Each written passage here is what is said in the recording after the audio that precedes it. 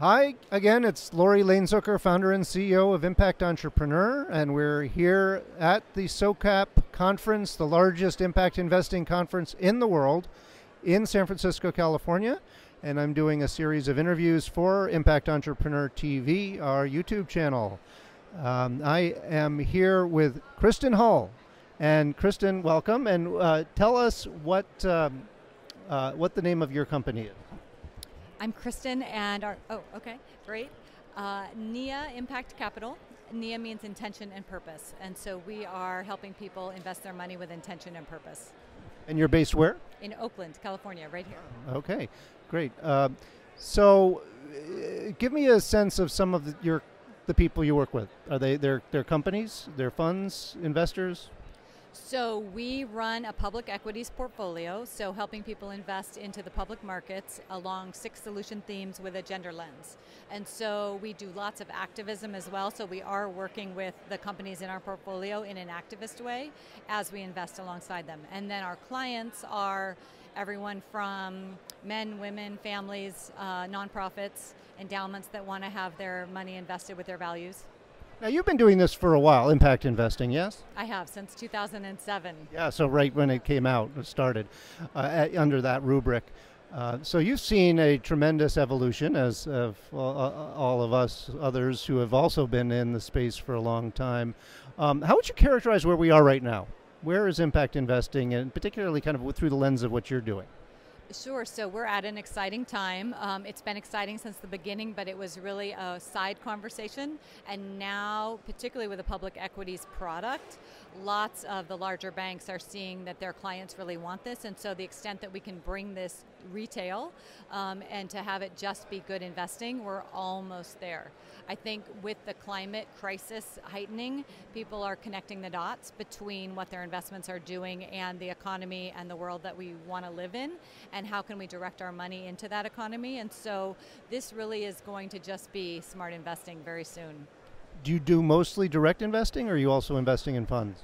So well, for the public equities product, that oh, is public. specific companies. Um, we also have NIA Community Investments that is direct, and then also some funds that are real change makers. Um, but for NIA Global Solutions, which is the public equities product, that is across cap size, so small to large, and then also global. So we're looking at companies around the world. So tell me about the criteria that you're using to, um, uh, to, to, you know, when you when you identify companies to invest in what kind of standards do you have? What what is your uh, what is the set of criteria, and what do you look for in terms of how those companies are managing the impact measurement and management aspects of, of what they do?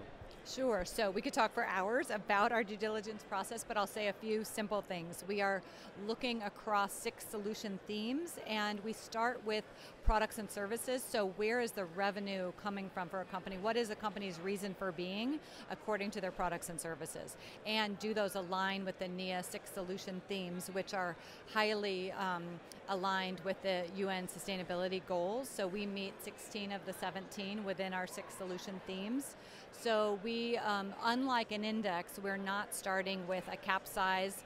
Um, for us, we really care about is this really important? Um, is this getting done? And then does the management team have the ability to execute? And how do you deal with the uh, age-old question in impact investing space of whether the investor uh, should expect to uh, have a concessionary type of return or uh, versus market or market beating returns? Right. So we at NIA are trying to redefine what are market returns, and so I think it really depends on the sector. I mean, as long as we're not extracting, so we're really looking at renewable and regenerative, and there actually are quite a bit of growth areas um, where you can expect beyond market returns. Um, it really depends on what you're trying to accomplish, um, the level of risk, and then how much it's needed. Um, so that's a it's a tricky question. If you're working with the poorest of the poor and you're trying to get a really high return, then maybe you want to think about what the purpose of that capital is. When we're investing in publicly traded companies that are global, that are so solving solutions um, that are needed worldwide, you can expect a good return. So we have uh, at Impact Entrepreneur uh, a couple of webinar series that we run and pipe out to our global network. And the last webinar that we did was with John Fullerton of the Capital Institute, who, as you probably know, is a very strong and articulate advocate for regenerative economy, right, and re- regenerative capitalism. Um, so, kind of with that conversation in my mind, I ask, you know, how does regenerative business fit with public equities. How many public companies, particularly multinationals, are embracing regenerative principles and practices in their work, and how are they doing it?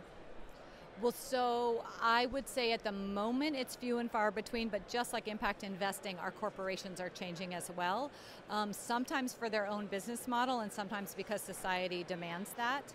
Um, as far as regenerative, are easy to look at our energy sector within NIA because we are looking at wind, solar, and waves, and we're also looking at financing those industries. So when we're thinking about solar, um, it drops from the sky for free, right? And that keeps happening almost every day. Um, technology prices come down, that's what they do, you know, so things get cheaper and cheaper. So as our renewable technologies become more and more affordable, we're using renewable and regenerative energy to do that. Um, healthcare wise, um, we're looking at circular economy plays there. So, can we be sending out, um, well, both, I guess in healthcare, we're really looking at access and innovation, and then how can we be um, recirculating different products within that? And so, we have several companies working along those lines. Um, so, question about the uh, kind of mindset of the high net worth investors that you deal with. Generally speaking, and I'm sure there's a, a variety of approaches here, but are you seeing an evolution uh, kind of toward or way uh, kind of beyond saying I want to do a you know a discrete portion of my net worth and putting that toward impact toward I want to put 100% of my capital, ideally, toward impact type investments. Are you seeing many of those types of people, or are we still kind of just, you know, take, I'd like to do 5% on impact? So I'm in a lot of the conversations where people say they're going to do 100%. Um, I would say people definitely think about buckets. And is there a philanthropic bucket? Is there an impact bucket? Um, I think there's oftentimes a gender lens bucket. Um, I think, as we talked about earlier, as we move towards this just becoming smart investing, that will kind of seep in across the portfolio. Um, I would say the non impact investors are going to move quicker. They're not getting caught up in terms, they're not getting caught up in what's the right asset class, they're really just moving money. Um, and I think maybe the ESG movement is helping with that there, of course, there's greenwashing and pinkwashing within all of that, um, and yet I do see money moving towards solutions. And a, I, obviously, the role, one of the roles that you're important roles that you're playing is to kind of minim, minimize the chances of investing in, in greenwashing, right?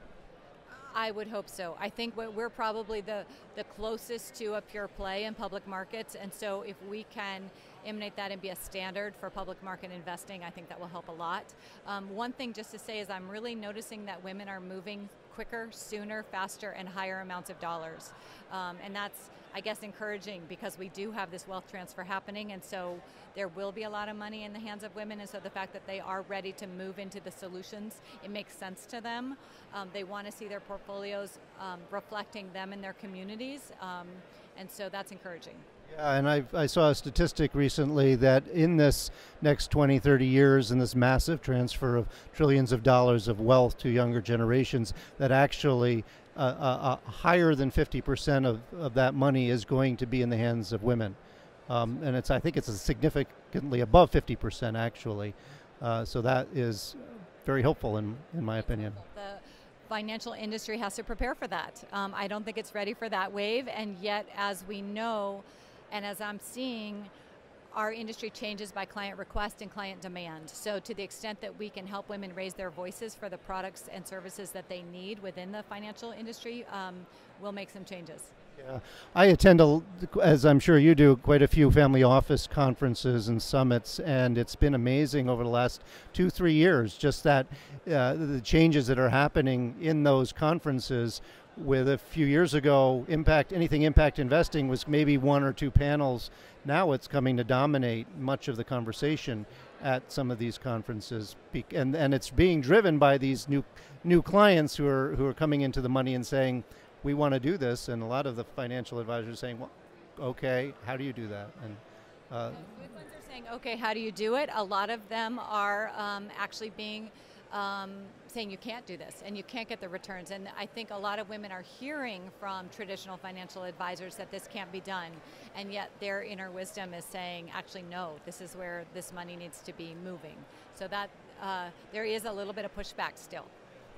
Give me your website address so we can people who are interested in getting more information can find you. Okay, I love that. Thank you. Um, www.niaimpactcapital.com. Spell it. NIA, and it's actually a Swahili word that means intention and purpose. So niaimpactcapital.com. Wonderful. Kristin, thank you so much for stopping by. Take One more thing. Um, we also have, for those that are interested in learning about um, the issues, I do write a Money Doula blog, and that is at moneydoula.org. Um, and actually, you can reach that. You better spell that. Okay, money, M O N E Y, and then doula, um, D O U L A. Um, so. Dot com. Dot org. Dot org. Yes. Um, small pieces about um, how to put your feminism into your finances. Um, why investing in fossil fuels might not be good for your balance sheet. Um, and then everything about weapons, reducing them from your portfolio, and how to talk to your advisor about doing this work. Kristin, thank you so much.